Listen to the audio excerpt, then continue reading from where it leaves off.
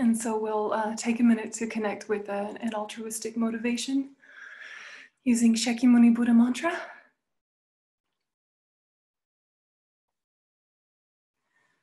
Taya om mune mune maha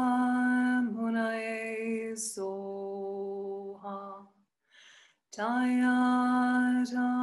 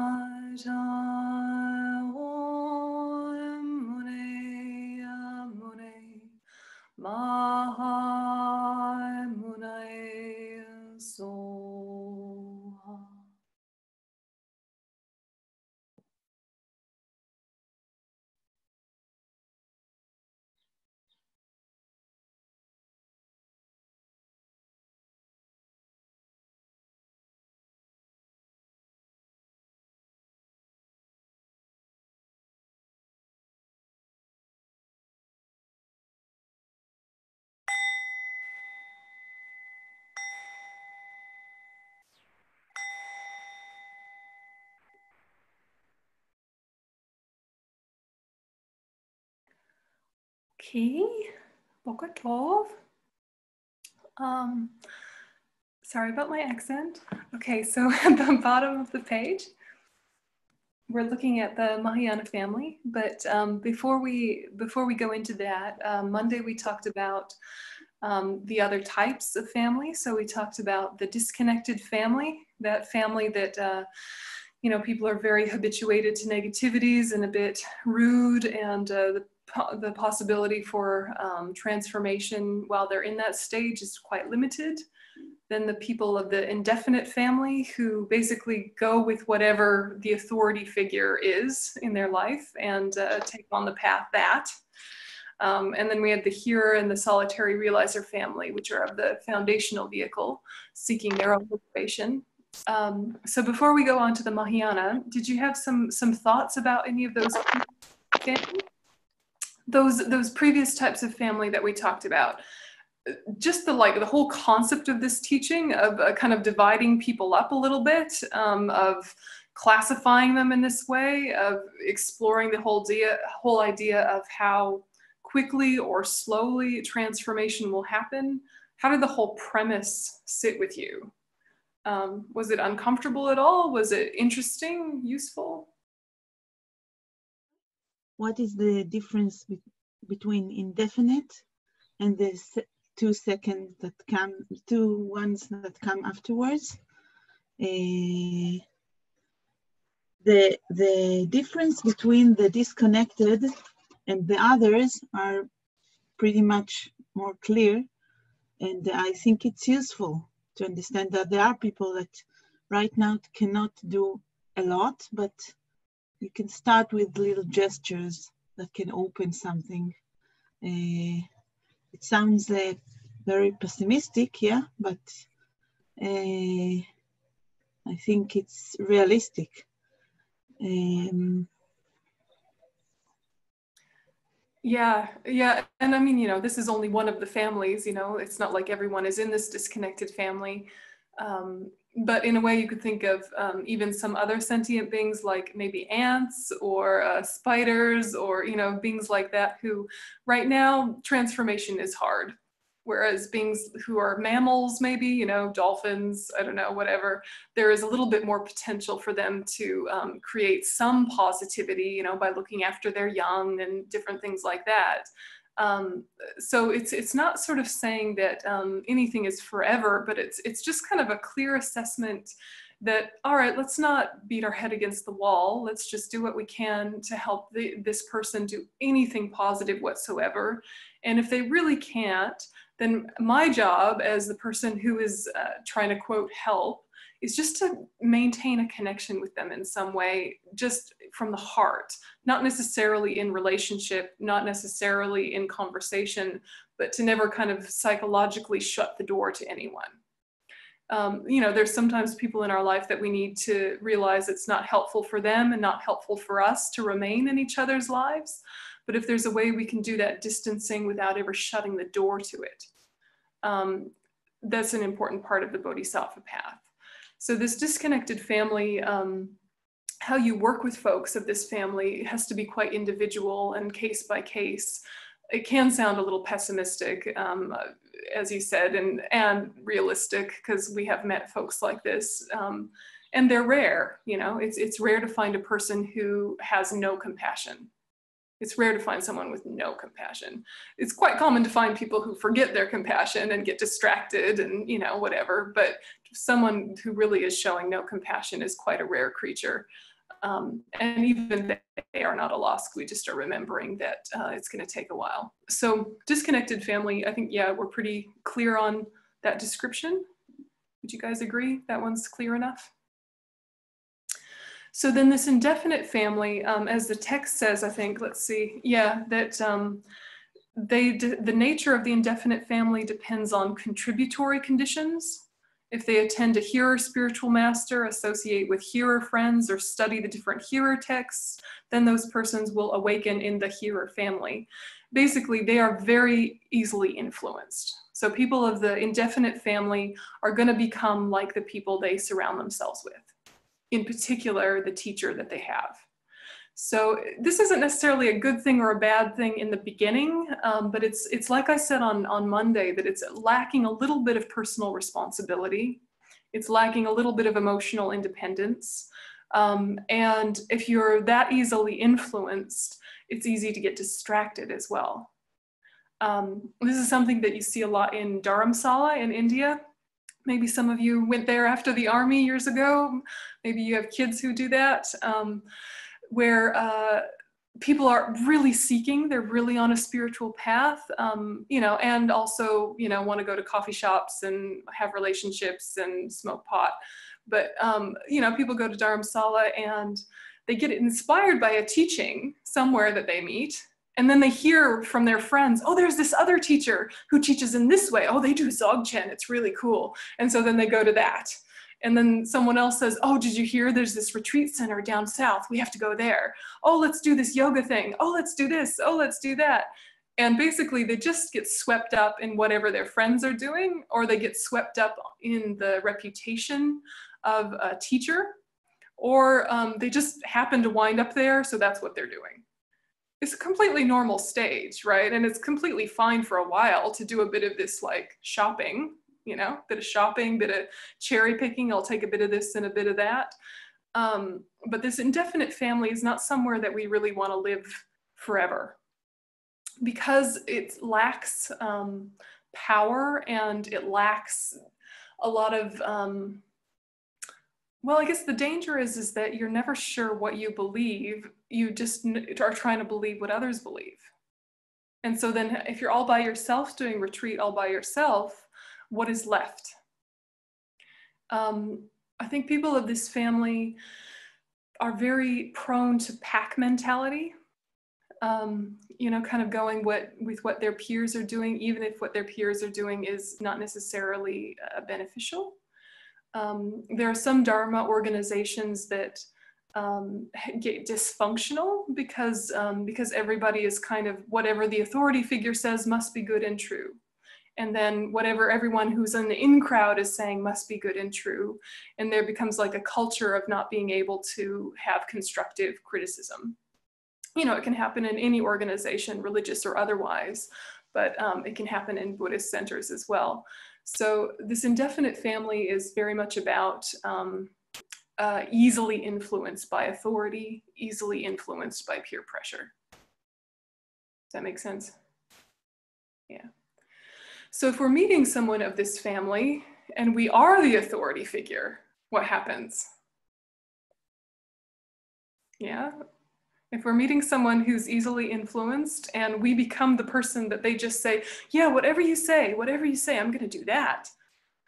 Does this happen sometimes in the clinical setting? You know, does it, it happens, you know, for me in the teacher setting sometimes, but I'm sure it happens to you where sometimes someone comes into psychoanalysis and thinks that uh, you're, you know, the source of everything good and pure and wise. And whatever you say, they're like, yeah, yeah, I'll do that. I'll do that.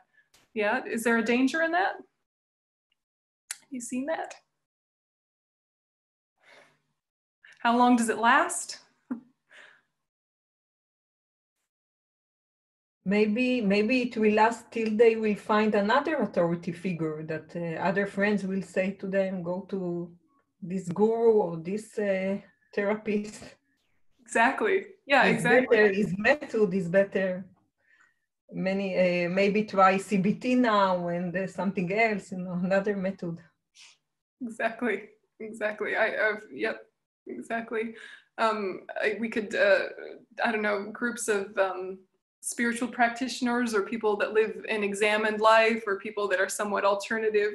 We can get into this with like uh, health stuff. I don't know if this happens to you, but my friends and I are always talking about, oh, did you go see this Ayurvedic doctor? They're amazing.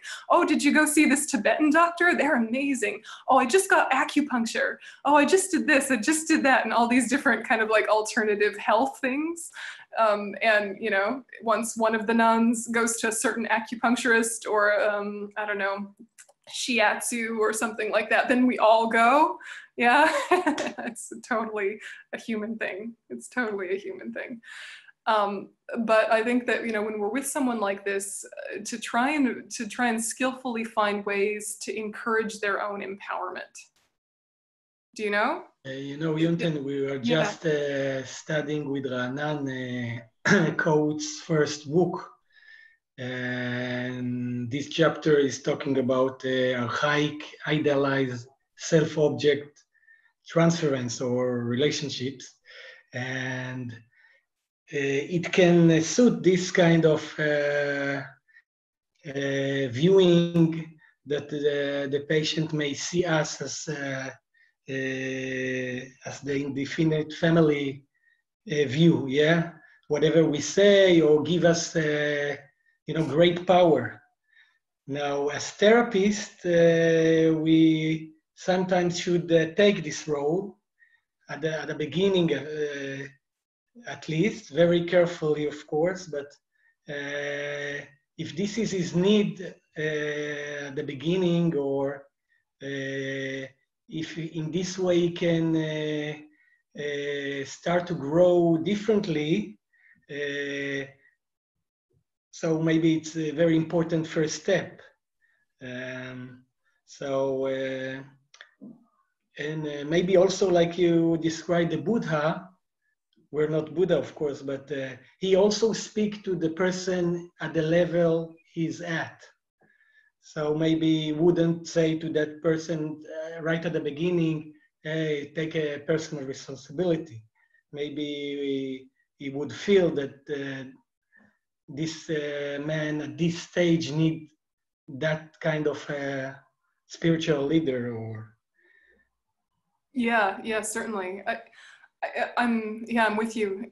And i think that the difficulty is the transition yeah, uh, the difficulty is the transition. When someone is moving from being of indefinite family to being of something that they've taken ownership of, someone who's become empowered to make their own choices and feels empowered about their own choices and now is choosing to see the teacher or the analyst or whatever. They're choosing to see them in a certain way and have this interaction in a certain way with the background knowledge that this is a human being who I will see human faults in and that doesn't mean that their content is faulty but I can awaken my wisdom mind so that the inner guru is collaborating with the outer guru or you know the inner wisdom is collaborating with the wisdom of the outer analyst.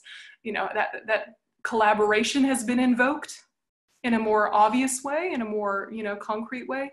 The transition between just tell me what to do, just tell me what to do, and actually what you tell me to do, I want to marry that up with what resonates. Yeah, and I'm actually going to have some detachment from that, examine it, and then decide whether or not to take it on board. I think for me as a teacher, this is always an interesting place of transition because, and I think that it must happen with you guys the way transference happens. Of um, there is a certain type of person that wants to put you on a pedestal. They want to give you all of the power for their life. They really want to. And the question is should you take it for a while if it's skillful, or should you nip that in the bud right away? You know, it's so case by case, isn't it? But if you decide to take that on, this sort of, you know, archaic self-object, is that the right way to talk about it? If you decide to take on this role, it's so dangerous right? It's so dangerous and it can't be that way forever for most people. So then what do you do with the transition point? You know, because they might decide to do that transition before you think they're ready and they basically have put you on a pedestal and now they've flicked you off and now you are nothing and therapy is crap and to hell with it. Or um, Buddhism is stupid because you're a regular person who drinks coffee. right? You know so so this can happen to us can it? And um, i think that's a really interesting place to explore is the transition point. Um, do some of you have some experience of that of when it's gone well or when it's not someone has kind of given you all this power and then gradually becomes more independent? If it hasn't happened yet it's going to happen right transference of different types. I, I wanted to say that I think, um, continuing what Uli said, that I think when you hold it, um, the therapy is helping the person be who he is, bring out his qualities. You can hold it a little bit differently. And uh, even if you tell a person things that give advice, but if it comes from empathy, you actually um, understanding very deeply the patient's needs, then it it's it's helping him be him in a way, and it can be done more gently. The past, the going from him not knowing himself to him knowing him. Um, that way. Yeah, that, that sounds that sounds like the approach we should take, definitely when you're kind of giving some sort of um, you know for lack of a better word advice that it's really like with this very deep empathy as you describe where you're trying to listen for what is the wisdom they already know but have kind of hidden from themselves that you can kind of expose to them. You know you're exposing themselves to themselves their wisdom mind. And then once that wisdom mind is kind of activated and is driving then there can be a better collaboration that's a bit more free flow but in the beginning it, it has to be a little bit more um, delicate yeah or as you say gentle where you're really kind of peeling back like where are they at actually?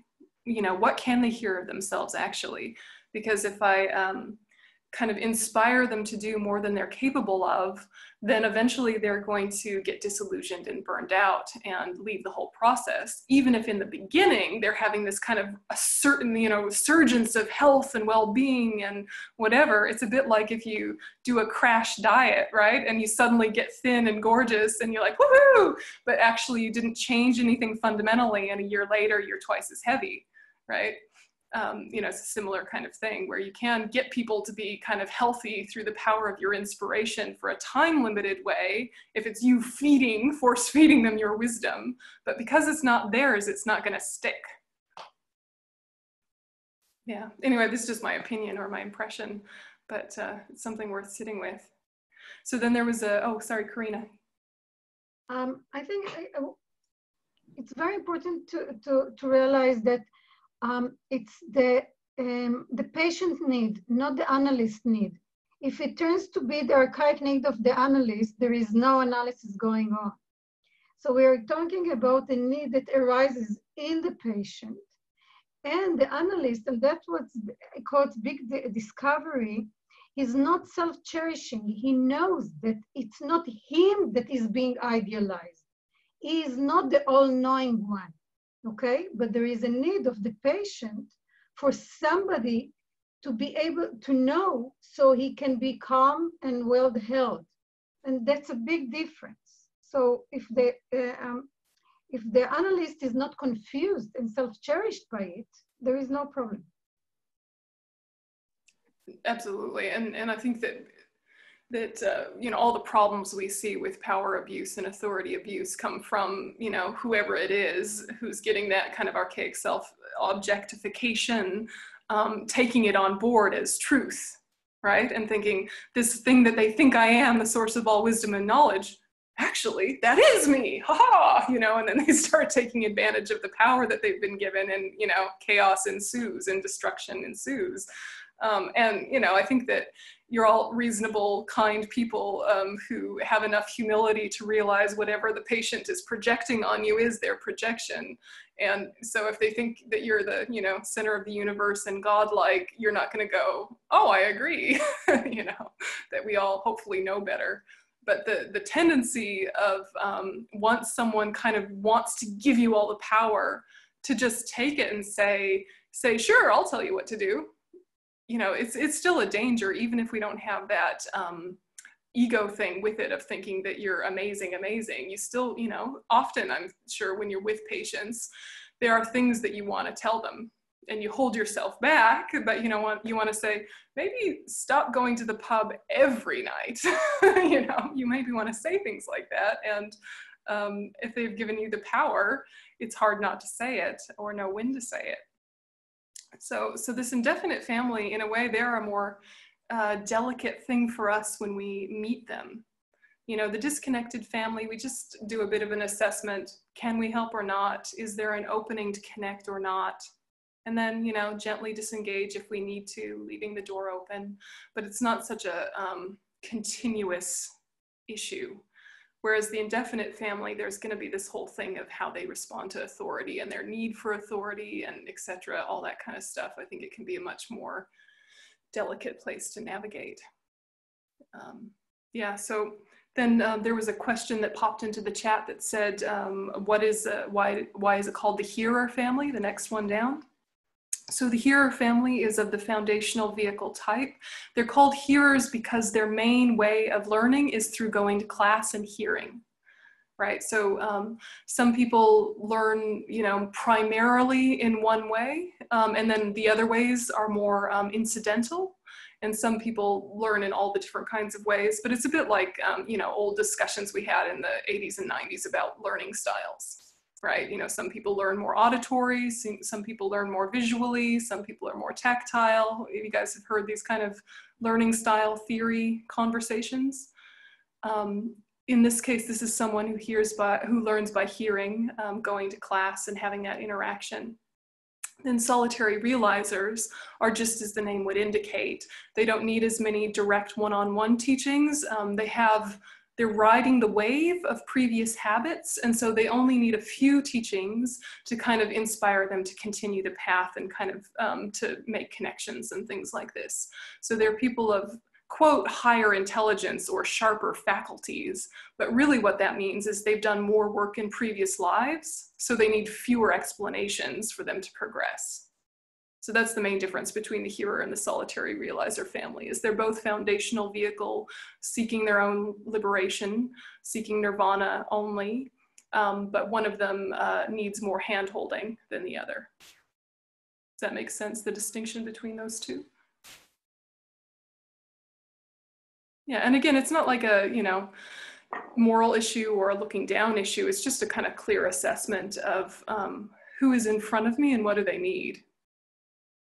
Yeah, and um, some people are incredibly insightful and you know it right away when you meet them and they, they basically need very little from you except to, to mirror what they already know, right?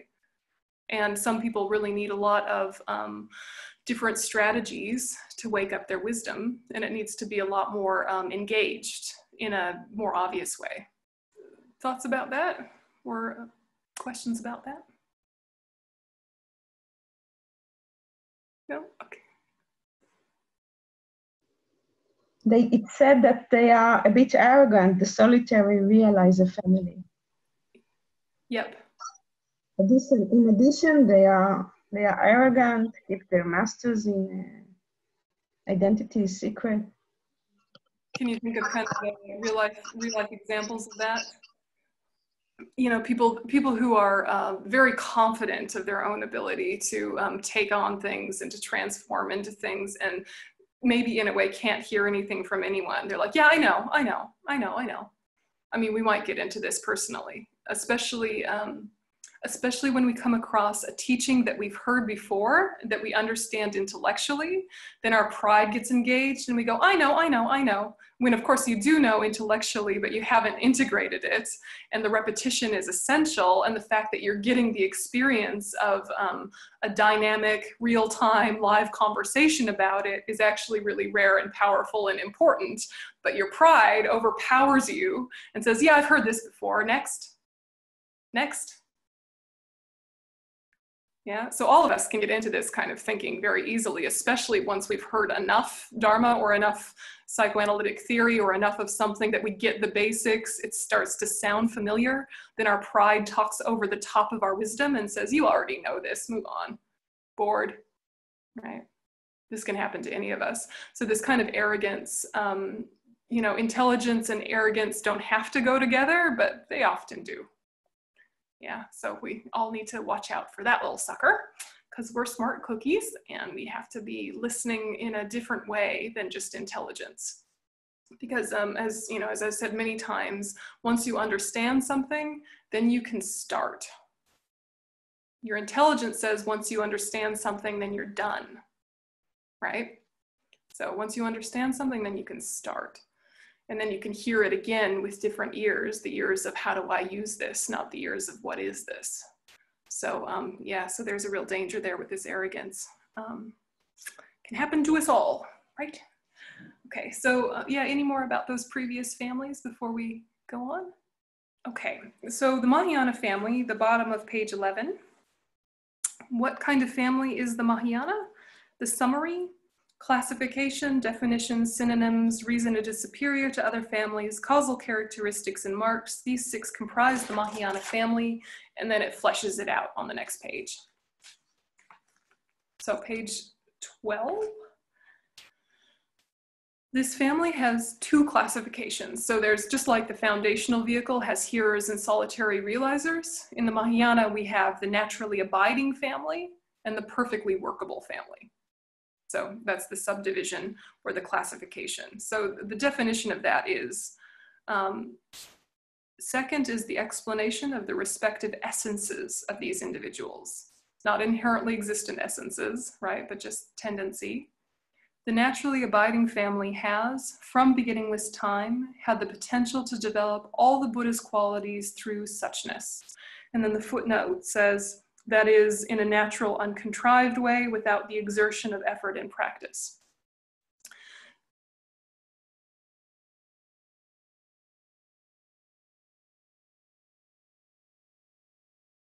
The perfectly workable family has the potential to achieve all the Buddhist qualities through the power of habituating themselves in root virtue.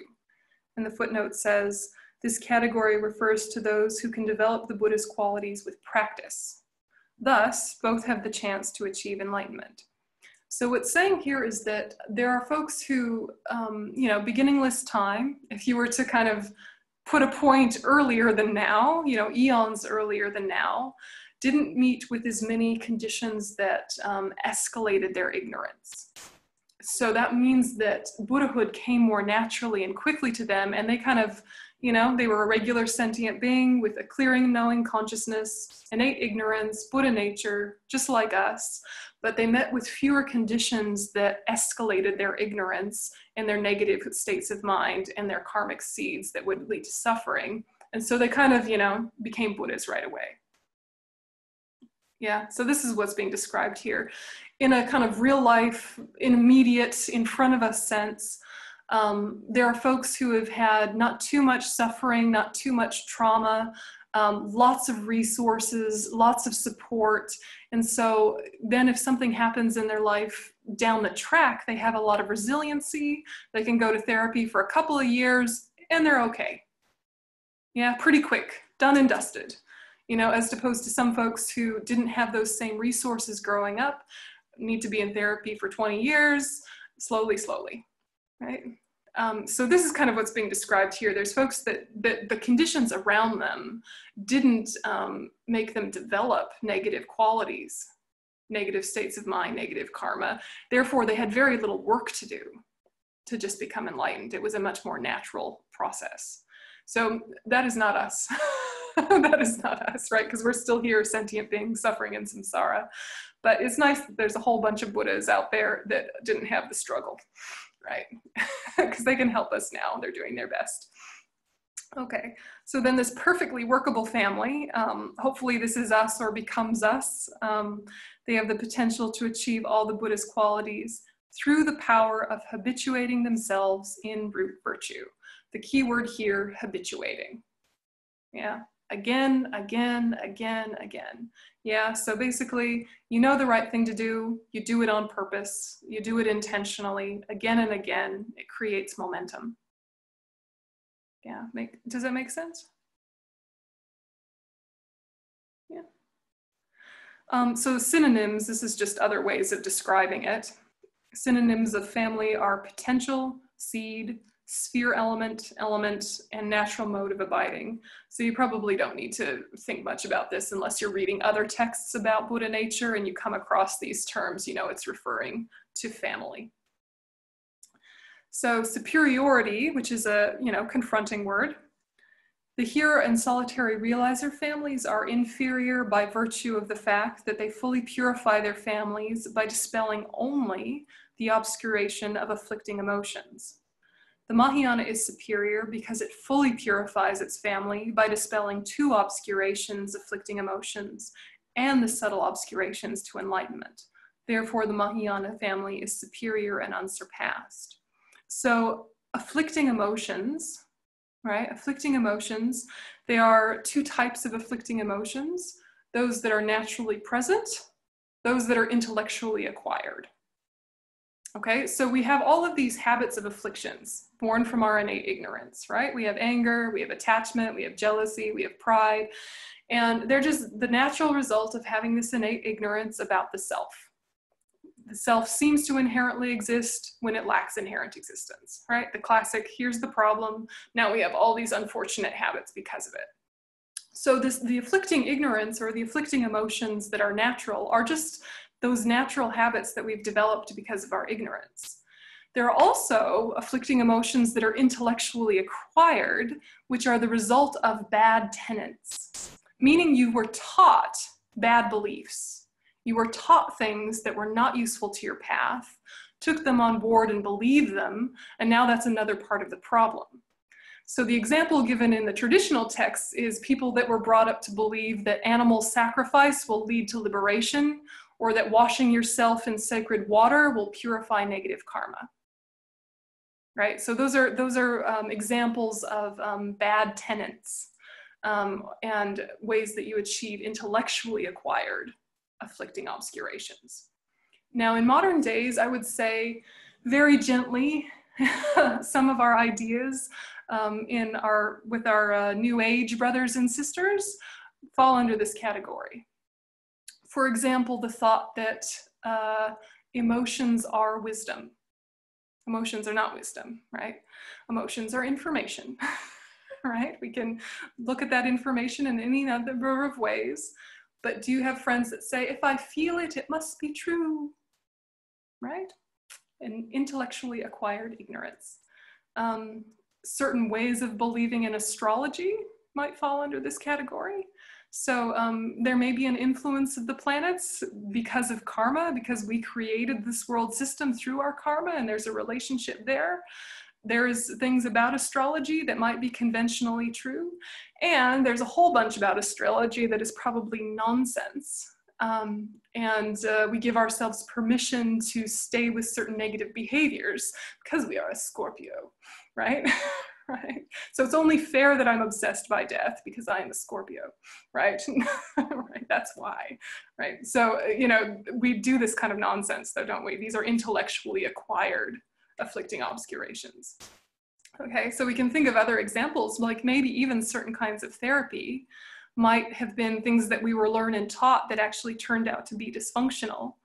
Um, worst case scenario is people that have been indoctrinated by a cult, right? People that have been indoctrinated by a cult, the, the ways of thinking of that cult would be intellectually acquired, afflicting obscurations. Does that make sense? The two different kinds of afflicting obscurations, that which just all of us have naturally because of our innate ignorance, and those we've learned because we've come across teachings that are actually faulty. Yeah. Can you think of some examples you've come across of that? You know what I mean? We call this bad tenets, but you know, it's basically things we've learned that are not true or helpful actually damaging. This is different than thinking that things that we've learned have led us to what we know now, right? So I, I guess an important side step is to realize that even if we did certain kinds of therapy or we did certain kinds of spirituality that now don't serve a function, but were really important and useful to us at the time, we don't need to look down on those, right? They were steps on the path. So it's it's a different thing than thinking that was bad tenets and I need to shut them out. You you know, as a as someone who's an, living an examined life and has some objectivity about their own learning, we can see that maybe knowing that then was a very useful step to what I'm learning now. Yeah, so so don't don't take it the wrong way and think that you know previous belief systems are necessarily bad tenets when in fact they might have been really excellent steps along the path because in Buddhism itself, emptiness is described in many different ways um, according to the needs and abilities of the people who meet those teachings. And so we have different tenet schools within Buddhism, some of which say very um, contradictory sounding things when in fact they're a sequence. Yeah, they're a sequence that we go along in terms of practice. So you can think of, you know, I don't know, maybe it was very useful to be a new age hippie when you were 14 years old.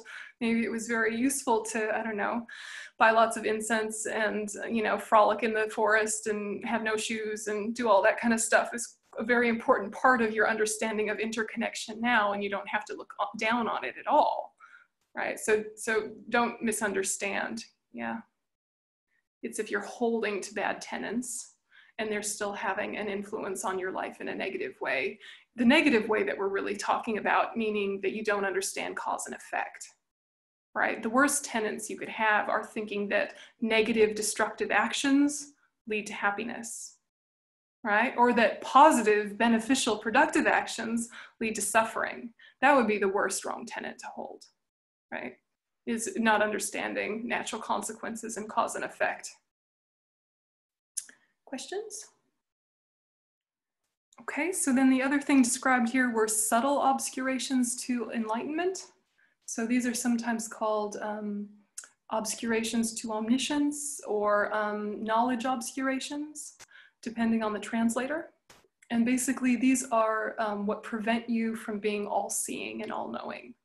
So these are the imprints left by habits of self grasping. So once you've realized emptiness directly, and you're on the path of seeing, then you're gradually removing obscurations, uh, the afflictive obscurations both those that are naturally present and those intellectually acquired.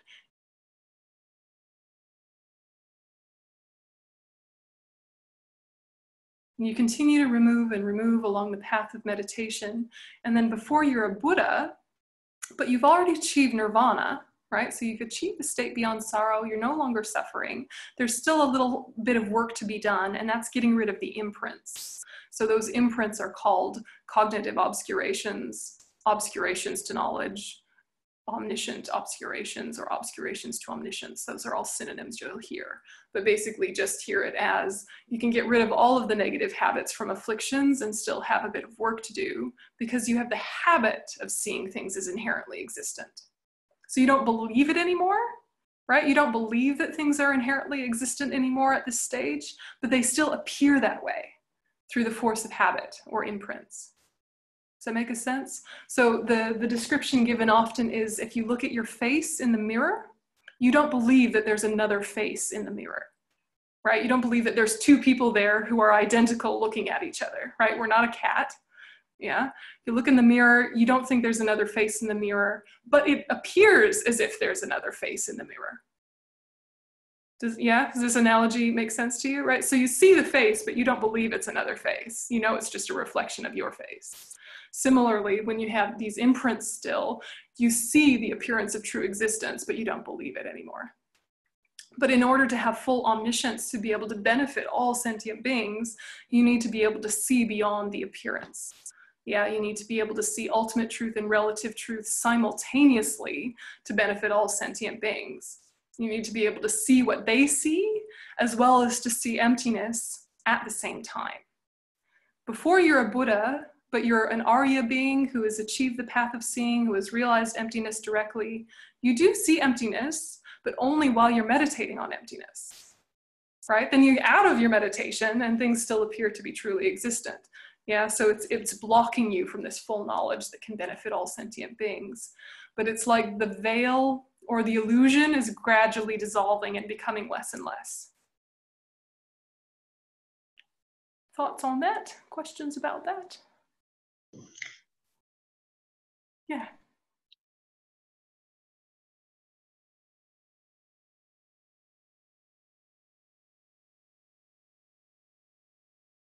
That, that's probably just that's just the fault of my presentation, right? I haven't had enough coffee. It's um it's very joyful, right? Um, I mean, just picture it, okay? Picture it. If you saw more of reality, um, then you would know more about what is useful and what isn't, and that would be very helpful and free up a lot of energy, wouldn't it? Right? So if you were looking at your family and you understood what all of them were thinking, and you were understanding all of their tendencies and traits, it would be much easier to know right now they need a hug, right now they don't need a hug, right? Right now they need to eat something and then we'll talk, right? All of those basic things would be much more obvious. You wouldn't have to guess. And that would be happy knowledge, right? That would be something really uh, joyful for you. But also, you would see the whole expanse of suffering and everybody's negative patterns. And so that could be quite overwhelming as well. But the main thing that's happening once you realize emptiness is that instead of just gradually purifying negative karma, you're purifying negative karma in huge bursts. So basically, like when you meditate on emptiness, loving kindness, all these good things at our level, that creates positive karma and it also can purify negative karma if we do it in the right way. Just gradually getting the job done. Once you've realized emptiness, instead of like burning a little negative seed one by one, it's like you've got a blowtorch and you're just torching the whole set of seeds, right? Each meditation, eons of negative karma being burnt up, eons of negative karma that can result in suffering, that can result in negative states of mind, etc., etc. Just a blowtorch burning through all those seeds. So once you realize emptiness, you become so much more efficient in your purification.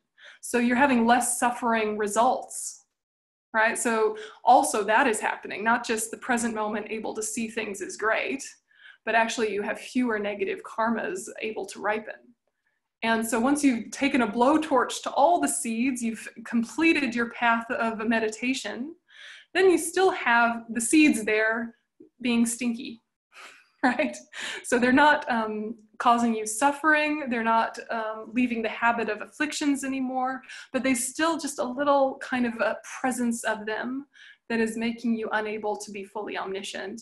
And so then you need to be able to decimate the seeds completely. Yeah, throw them into the sea, they dissolve, blah, blah, blah. That's, you know, a rough analogy right?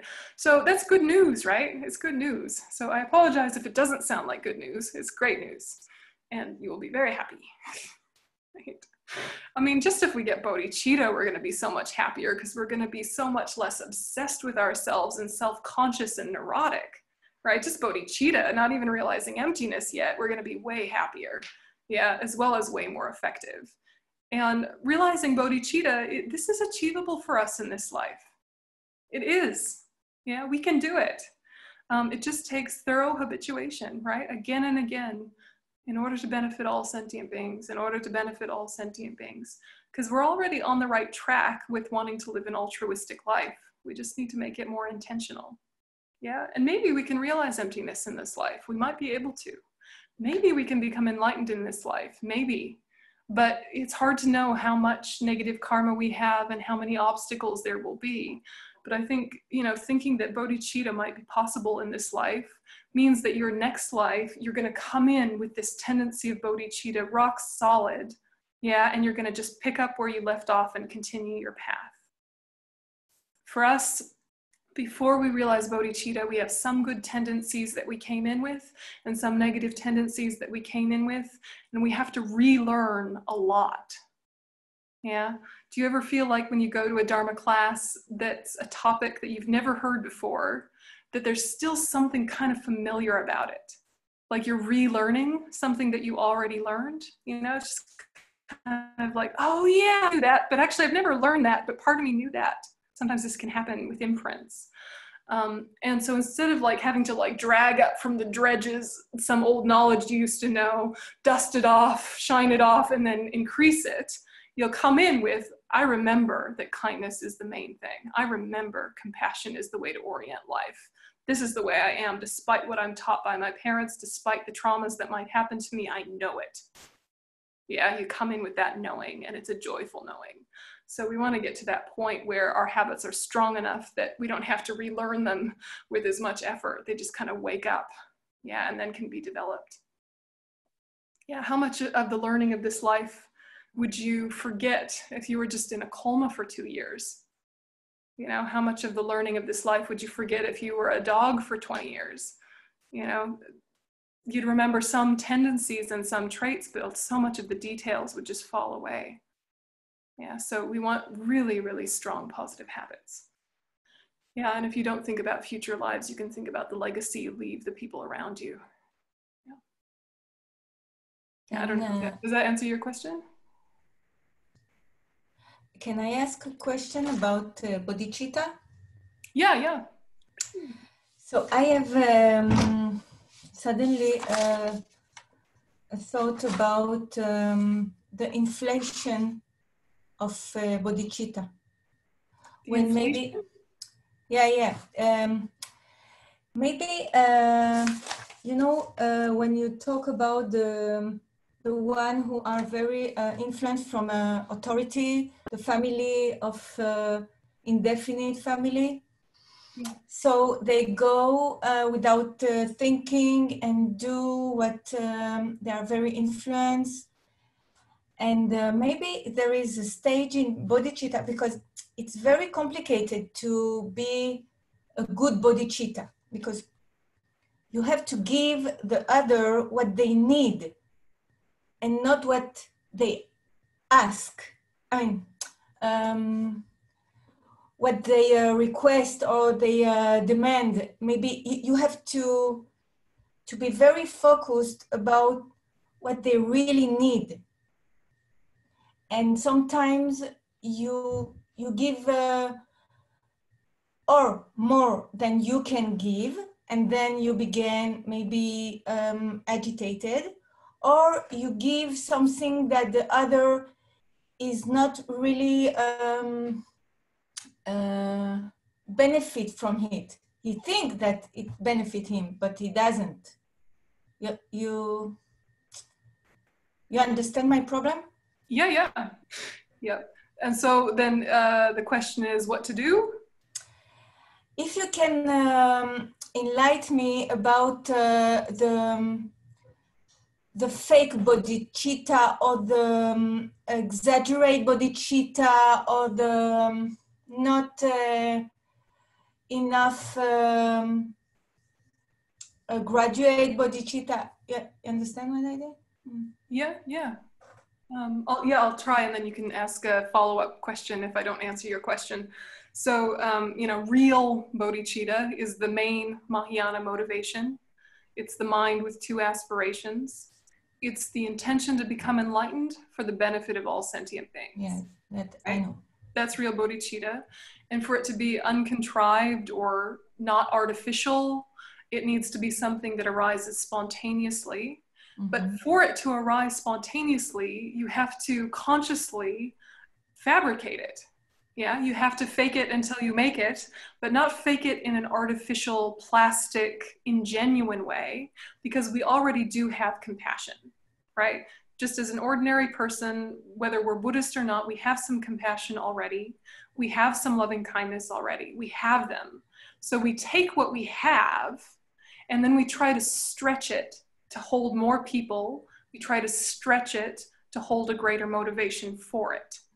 So you're taking what is real and true and already existent, and you're also trying to extract out the problems in your motivation that might be self centered or egocentric, yeah, as well as this expansion and deepening process. So this is something that we can do already at our level today in this second. If someone says connect with bodhicitta, what you're really doing is waking up the loving kindness and compassion you already have, bringing it to the forefront of your mind, and then consciously expanding it using your intellect. Yeah, as well as kind of a sense of your heart opening. So, you know, if you think about, um, I don't know, the people starving in Yemen right now, immediately your heart opens to the people starving in Yemen right now. But before I said that, you know, in the background, we were worried about them and care about them, but it wasn't like in our consciousness, mm-hmm. right? So, you know, so you're consciously remembering the people of Yemen who are starving right now. So now they're in your heart and they're part of your bodhicitta practice because of intentionally remembering them. So you're not faking your care for them, you're fabricating your memory, yeah, to kind of bring it into your heart.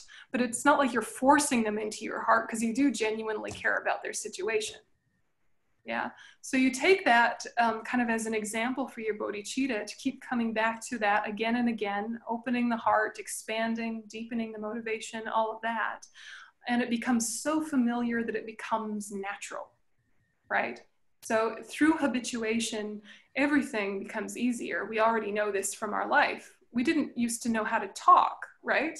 And our mom and our dad made noises at us and shaped their mouths and, you know, did cute things. And we learned how to use our mouth and we learned how to talk. And now we talk without thinking, unfortunately, right? No, but we can talk very easily with great flow. Same with walking, right? So we forget how much effort it took to learn these things.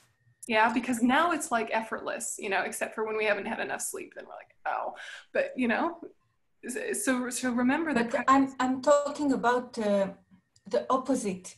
The people who are very very uh, large in the in the heart it's not they don't need to to um, uh, to think about they they see somebody and and they want to help him. It's it's not uh, they have to yeah connect to they, they are connected. But when when they they uh, help the other maybe it's sometimes too much for them or for the other. Yeah because it's it's not it's not bodhicitta. It's um, it's compassion. It's sometimes what is called unfortunately is called idiot compassion which mm. is like knee jerk right? I just, I must help because a good person helps. I must help because my identity is a helper. I must help because I genuinely want to help, but I actually have no idea what is helpful, right? Mm-hmm. And this is not bodhicitta, right? This is, it happens, it happens to all of us, but it's divorced from wisdom. Mm. Right. So we have to always have wisdom and compassion together you know remember like the essence of om mani padme hum mantra that we do. The essence of it is to become enlightened you need compassion and wisdom united. Mm-hmm. yeah? One without the other is not strong and it's not skillful. Compassion without wisdom becomes idiot compassion and you help above and beyond your capabilities. You help in a way that's not skillful etc etc wisdom without compassion becomes very cold becomes too intellectual right? So you need them together for awakening. Yeah. So, you know, this is why just, you know, Om Mani Padme Hum, Om Mani Padme Hum, Om Mani Padme Hum is very powerful because really you're saying wisdom and compassion must always be united. Yeah. Wisdom and compassion must always be united. This is the path to awakening. Yeah. So, so for us, you know, a danger can be um, trying to do the behaviors of bodhicitta without the motivation of bodhicitta, because that's what we should be doing. And it's not coming from the heart first, it's coming from the words first or the actions 1st mm-hmm. um, and then it becomes inauthentic and it becomes uh, brittle. It mm-hmm. becomes um, something that has limited effect. Um, you know, and sometimes it's just being polite when you're having a bad day. But what we need to try and do is to start with the heart first and then the words and the actions flowing from that rather than what should I say? What should I do? don't worry about what you should say and what you should do. First connect with your heart. Yeah, then say and do from that place. It's going to be a lot more effective. Does that make sense? Yeah. Yeah, other other questions about that? Bodhicitta? It'll keep coming up. so um, we're going to continue on. Um, causal characteristics. The causal characteristics of the family are described as awakened and unawakened. The awakened family has achieved the fruit perfectly and the signs are very obvious. The unawakened family has not achieved the fruit perfectly and its mark is not obvious. What would cause this family to awaken? This family can awaken through freedom from unfavorable contributory causes and through the support of favorable conditions. If the opposites occur, they cannot awaken. There are four unfavorable conditions being born in unfavorable circumstances, having no habitual tendency toward enlightenment, entering into wrong conditions, and being heavily shrouded by the obscurations. There are two favorable conditions the outer condition of a teacher and the inner condition of a mind with the proper desire for the precious Dharma and so forth. So, unawakened again is, is talking about basically a potential that is much obscured or like sleeping or dormant um, or suppressed. Yeah, a potential that's suppressed because the conditions have just made things way too hard, right? And so, if we can remember that conditions have an influence, a very strong influence, but conditions never have the power to destroy the potential for enlightenment. Yeah, yeah, conditions never have the power to destroy your potential, but they do have an effect of suppressing its development if there's just too many hardships. So we do see this all the time, don't we? If people are really, really hungry or really, really hot or don't have enough space, it is harder to be compassionate to one another. You know, isn't it the case that uh, wars usually happen in the summer? Yeah, it's too hot. Yeah, we must fight. Too hot yeah. Or um, you know just thinking about um, there's how kind you can be when things aren't hard and then there's how kind you can be when things are really really disruptive in your life. And a sign that you're well trained or a sign that you're well developed is that you can maintain your kindness even when things are hard. But right now it's it's important to recognize that with very difficult conditions our good qualities have a harder time coming through. It doesn't mean that we don't have them it doesn't mean we need to look down on ourselves if they're not coming through, but you know, look that conditions do have an effect. Yeah, so these conditions that are described are very obvious um, and easy to understand, right? Um, you just don't have the habit of transformation, then it's just going to be harder to develop it, isn't it? Doesn't mean you can't. Um, entering wrong conditions you know wrong conditions can be of so many types but basically just being surrounded by people who don't care right? Surrounded by apathy it's very easy to be apathetic. Um, being heavily shrouded in obscurations you're having a lot of um, basically the tendencies from past lives are just making it very hard for the light to come through. Yeah um, oh, and the first one I jumped over, being born in unfavorable circumstances. This is like being born to a family where there's a lot of violence, or being born in an area where violence is tolerated and encouraged, um, being born in a place where um, substance abuse is the norm, you know, stuff like that. Yeah, so stuff like that doesn't mean you can't awaken. It just means those are conditions that suppress potential. So this is very obvious to you guys because this is the kind of work you deal with all the time. Yeah, but um, maybe it's reassuring to see that it's named in Buddhism as well. So the favorable conditions are basically a teacher and a tendency. Yeah, having a teacher that helps and a tendency to do it. Yeah, those are the things that really support development. And um, the teacher doesn't have to be, you know, at least in the beginning, doesn't have to be a capital T teacher, guru, lama sort of thing, but eventually that's going to really make things more efficient.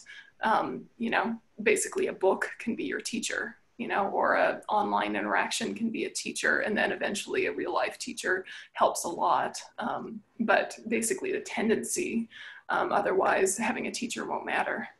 Yeah. Okay. Um, so then the marks, uh, any questions about that, the causal characteristics? Basically just a discussion of conditions. Yes, I, I forgot. The tendency is what we uh, um, related in other life, in past lives. In past lives, in this context, but you could say tendencies you've developed over your life so far as well. Mm-hmm. Yeah. Um, you know, it's it's also it's something that we see all the time too. Of if your family um, has a values education, it's probably a lot easier for you to become well educated than if your family didn't value education and you're the first one to go to university. You know, th- there's also tendencies, background conditions like that, right? So the tendencies of a family also make your own tendencies flow. Um, if you have a kind and compassionate family, it's much easier for your kindness and compassion to be nurtured and to flourish. Doesn't mean that you can't have your kindness and compassion nurtured and flourish by other things, but you know, conditions have an influence.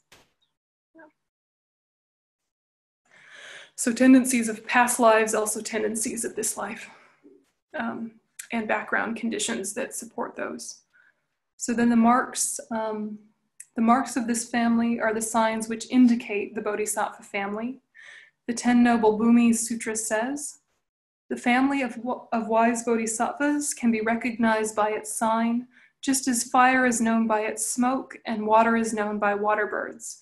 So this sounds very poetic, but this is um, also a, a classic logic that we use when we start to learn debate, right? So how do you know if there is fire on a smoky mountain pass? Because there is smoke. You know, you see the smoke, you infer fire, right? You see water birds, you infer there's water there, right? Um, so in that case, what kinds of marks are there? Their bodies and speech are naturally gentle without dependence on a remedy. Their minds are less deceitful, have loving kindness and clarity towards sentient beings. So to say their bodies and speech are naturally gentle it's you know as you would assume just logically not harsh right? So they don't have to be any kind of beauty or anything. It's it's that the way they use their features is kind. Yeah the way they use their speech is kind. Um, there's one um, teacher in our community who has a very broad Australian accent and who is very loud and who uses a lot of slang and a lot of swear words, but still you can feel the compassion coming through it. So again, it's not like it's not harsh in terms of like objectively harsh from a worldly perspective. It's about the kind of compassion you can feel through it. So someone can speak in a very sweet, very gentle way and not be what's described here. It could just be totally passive aggressive, right? So, you know, don't misunderstand. It's saying kind of what's flowing through the voice and what's flowing through the body. Yeah. Okay.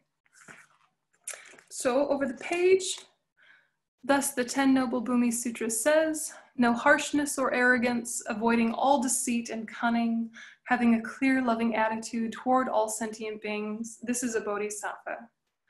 So no harshness or arrogance is quite obvious. Avoiding all deceit and cunning.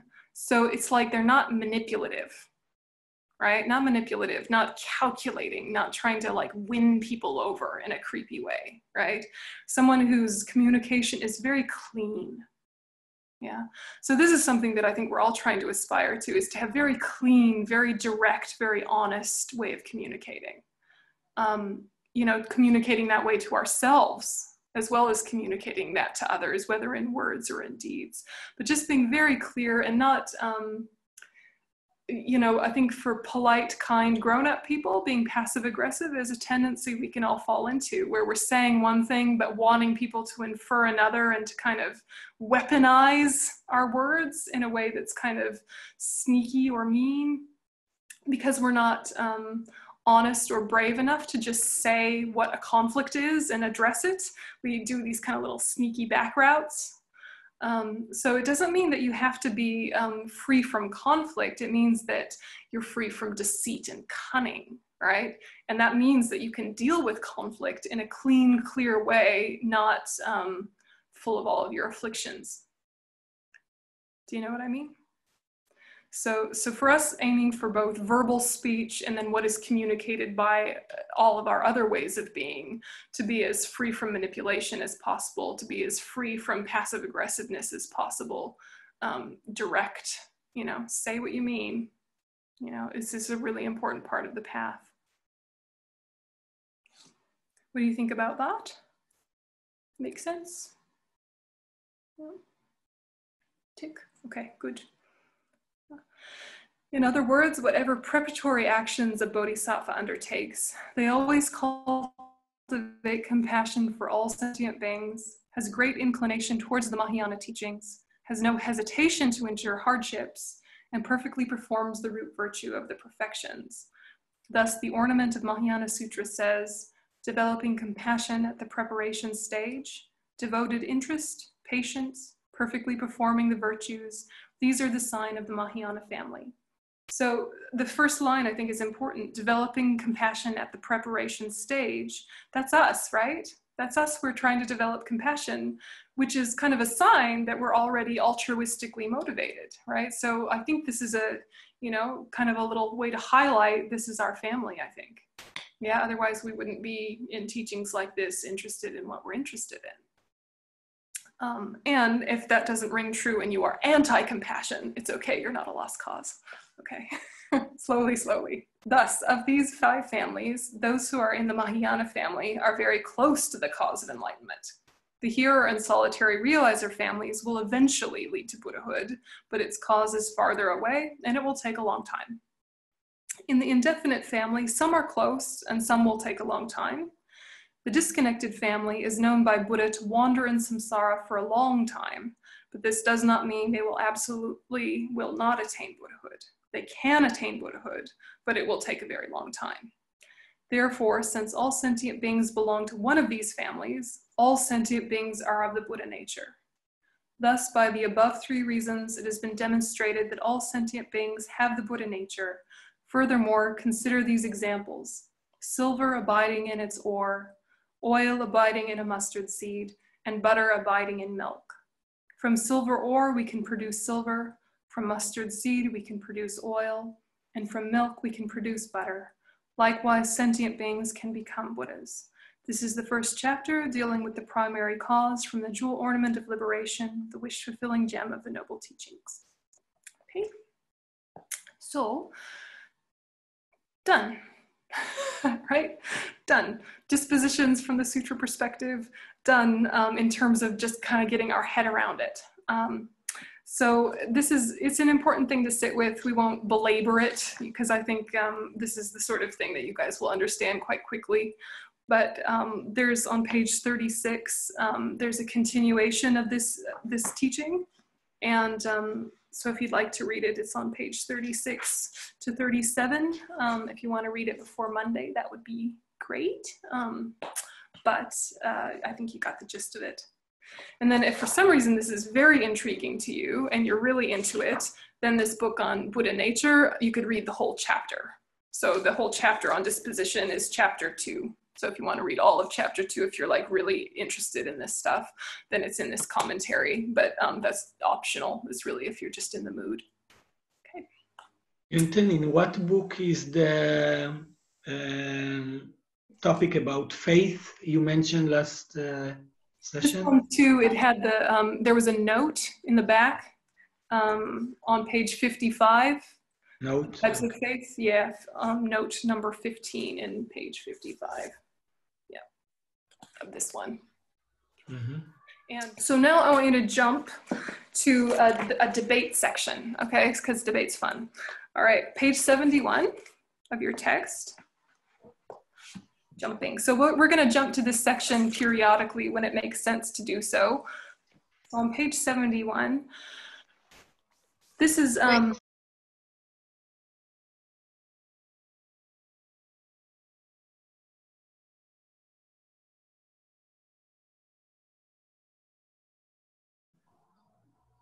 of enlightenment.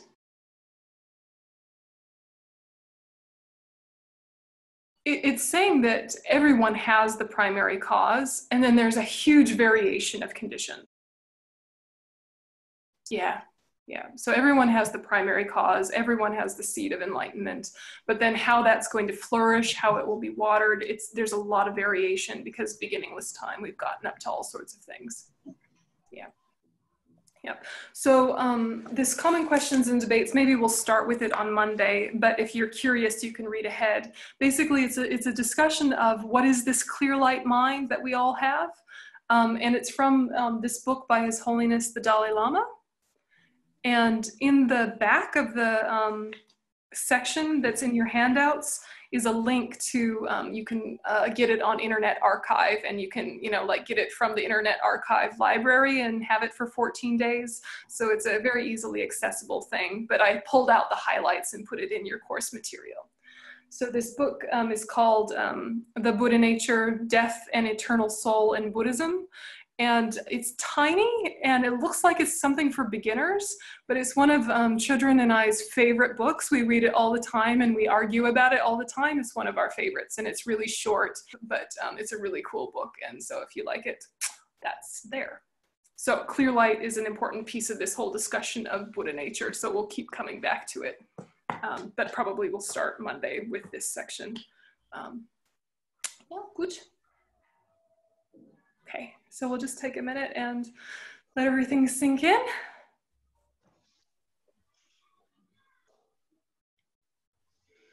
And so all of this discussion about disposition, all this dis discussion about cause and effect, just think, what is some wisdom that I've touched that I can bring into the rest of the day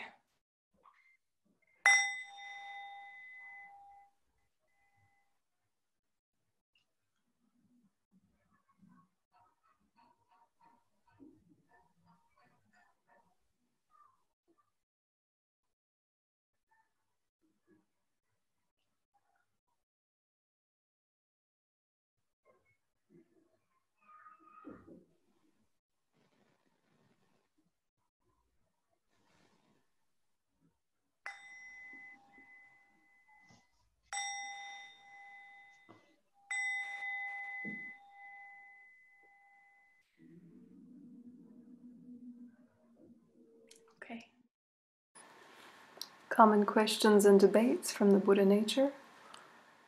Dr. Peter Michel, question.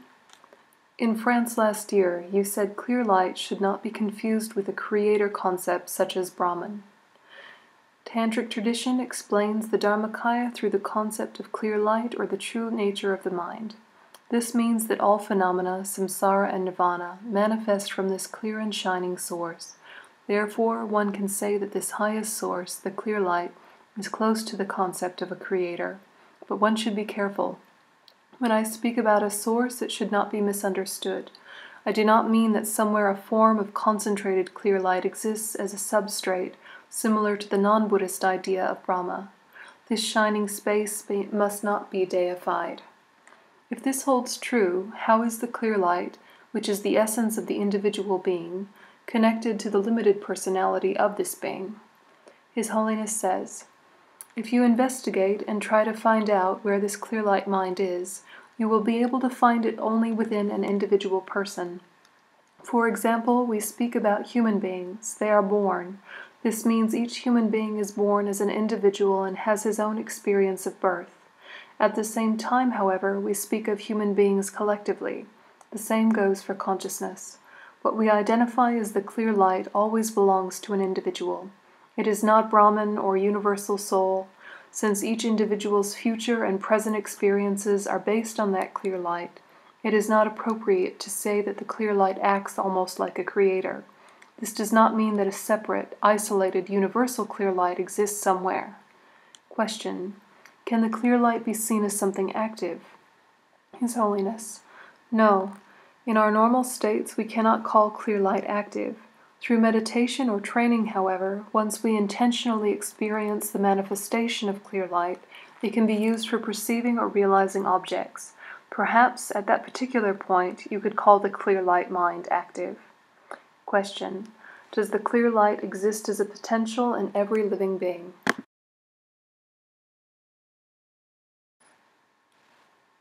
Answer No, it is always there. You can compare it with water. When water is muddy, the purity of the water is still there, but because the water is mixed with dirty substances, you cannot identify it. If the pure water were not there, the muddy water could not exist. The existence of the dirty water itself proves that the pure water is its basis. At this moment, the clear light is inactive, but it exists. Because clear light is there, the different states of consciousness and constituent factors can arise. Question. My main difficulty with this philosophy is understanding how the clear light can become unknown. How can a living being forget its Buddha nature if it's always there? His Holiness. Our everyday consciousness is on a very gross level. When we think, I say this, I know that, we are referring to a very gross level of consciousness. All the thoughts are on such a level. At present, the gross level of consciousness is active and the clear light level is innate. When the clear light becomes active, the gross level becomes inactive. For this reason, when we are in a deep, dreamless sleep, we are not aware of it, although we experience it. If we have a clear dream, we can remember dreaming this or that the next day. After sleeping deeply without dreaming, we wake the next morning feeling hardly any time has passed. We sleep soundly, and after waking, look at our watch and see that several hours have passed, but it feels like just a moment. This shows that our mind has different levels. Question How can Buddha consciousness, which exists from the very beginning, fall into a state in which it forgets itself? For example, a Buddha was not a Buddha from the very beginning. He developed, thus, there was only a seed at the beginning. Has the seed an evolutionary force in it? His Holiness. No, this seed has existed as long as consciousness has existed. Consciousness has no beginning, life has no beginning. Question How does a person become a Buddha if there is no beginning? Do we have the wrong sense of time here? His Holiness. One becomes a Buddha through transformation of the mind. However, you do not have to transform the clear light mind, it is already there. Question we have to transform the unclear mind into the clear mind? Is that how it can be expressed? Is it like changing the dirty water to clean water? How does this happen? His Holiness, through purification by removing ignorance. Question. That makes sense, but how did this clean water become dirty in the first place? His Holiness, the clear light mind becomes shrouded or unclear because of our inborn ignorance, which also exists since beginningless time.